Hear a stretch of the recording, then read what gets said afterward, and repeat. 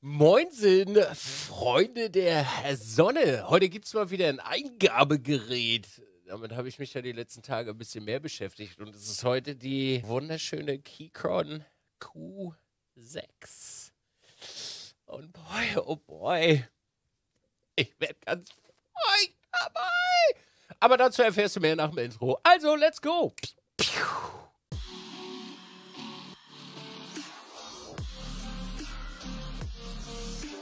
Ja, Mensch, ich bin ja in so einen ja, Kaninchenbau reingedeift.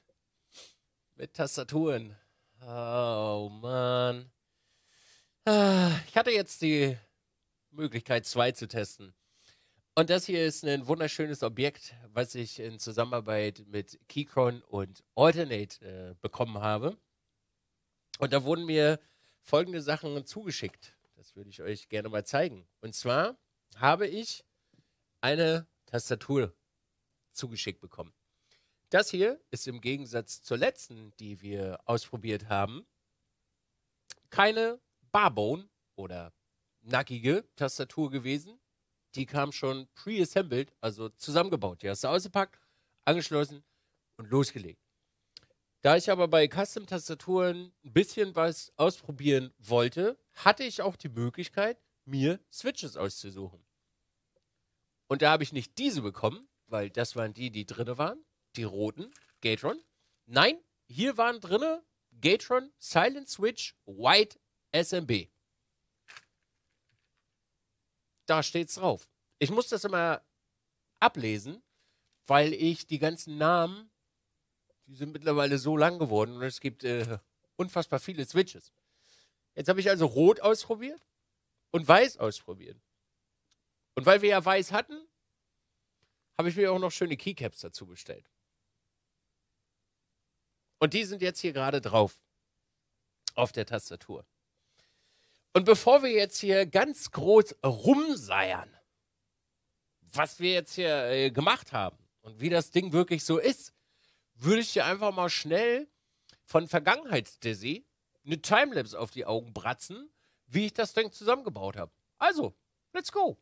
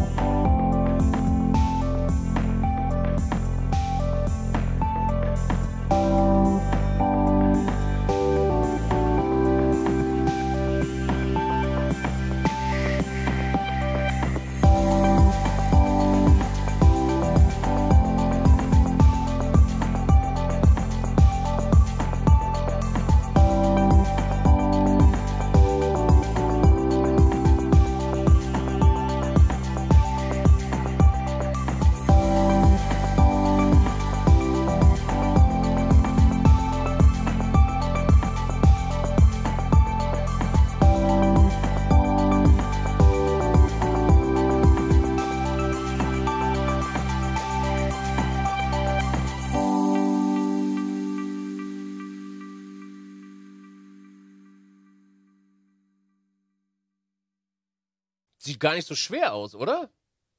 Ist wirklich gar nicht mal so kompliziert. Ich habe mir das wirklich schwieriger vorgestellt. Aber durch diese Hot Swappable-Fähigkeit, also einfach Sachen raus, rein, raus, rein, ist das ehrlich ziemlich simpel. du nimmst dir das Werkzeug, also den ähm, Remover, den Switch Remover, drückst den da ran, ziehst es raus und dann machst du das Ding einfach nackig und dann steckst die neuen einfach rein und machst die Keycaps drauf. Und dann bist du eigentlich fertig. Die Switches kamen schon pre-looped, also da war schon Schmiere dran. Also musste ich das äh, in dem Moment nicht machen. Das war auch meine allererste Tastatur, die ich äh, ausprobiert habe. Und da war es für mich einfach einfacher und sinnvoller, die Sache einfach so zu machen, ohne jetzt großartig schon die Switches auseinanderzubauen, etc. pp. Und es war wirklich simpel. Es war wirklich sehr, sehr simpel. In der Verpackung konnte man ja auch oben im Bild sehen, ist ein äh, Quick Guide mit drin. Da sind äh, alle Sachen drauf, die du, die du brauchst, und auch beschrieben, Schritt für Schritt, schön bebildert. Werkzeuge sind dort äh, auch mit drin, wie du zur Software kommst, die du dazu brauchst, also VIA. War auch alles äh, beschrieben. Lädst sie runter, schließt sie an, testest die Keys, so wie hier.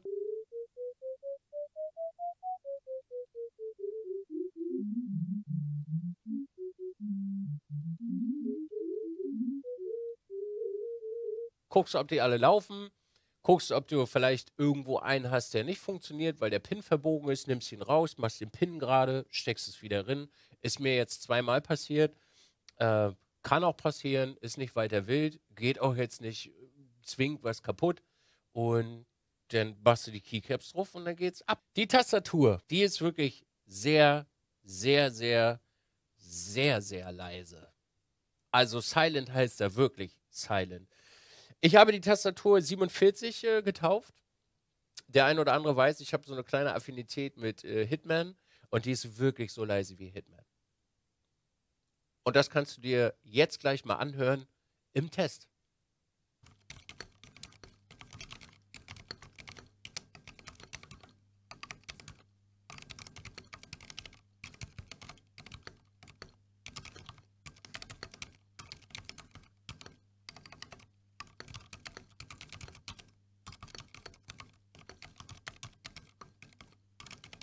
Also die Tastatur ist wirklich ein Gedicht. Ich kann mich noch entsinnen, ich habe sie montags zusammengebaut und ich war montags nach dem Stream nochmal unterwegs nach dem Zusammenbauen, bin abends nach Hause gekommen und habe mich extra nochmal an den Schreibtisch gesetzt, um zu schreiben, weil es so schön ist. Es ist also für mich persönlich ein absolutes Gedicht, hier zu schreiben. Es fühlt sich so an, als wenn du auf Wolken bist. Ist, die Tasten gehen super leicht, super geschmeidig. Der Klang ist total ruhig, besänftigend und geht runter wie Öl. Ich habe an dieser Tastatur wirklich gar nichts, aber auch wirklich gar nichts auszusetzen.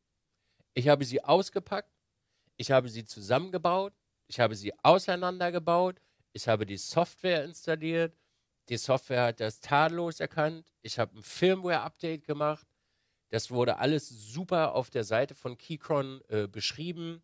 Die Keycaps waren äh, in der Verpackung drin mega schön angeordnet.